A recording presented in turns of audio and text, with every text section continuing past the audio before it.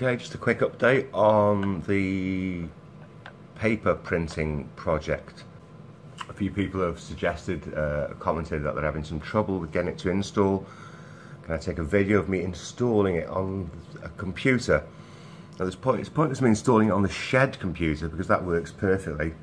We'll try the home computer and this is, is it Windows 10?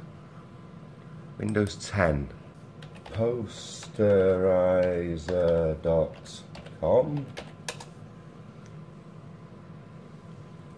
There he is now. um, boom, boom, boom, boom, boom.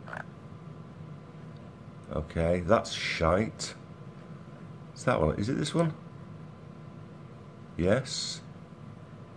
Okay, and exe file. It's only 693 kilobytes. Boom, it's open. It's well, it's downloaded. Open when done. Yeah, there we go. That's that's good. Fantastic. Uh, okay. Uh, so text. Remove the text. Photos. Open image.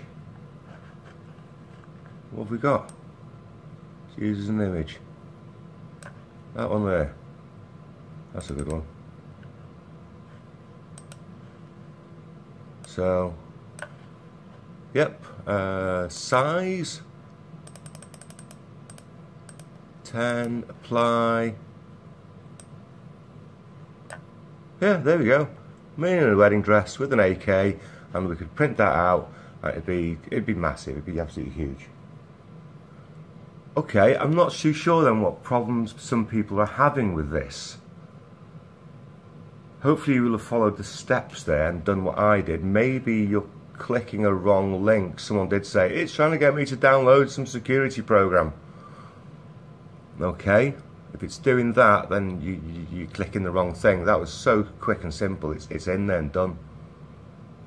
Okay, try again, see if you can follow those steps. Let's go, uh, no, let's go back then. Okay, so I went to there, this one, the blue one, download now, posteriza. I clicked on that. I went straight to the exe file, downloaded that, no problems. And I'm quite happy to do that because I've done this on a few computers and I even did it right back in the day. Look at that, 2005. It, it's it's fine. Okay, give it another go, see how you get on. Thanks for watching.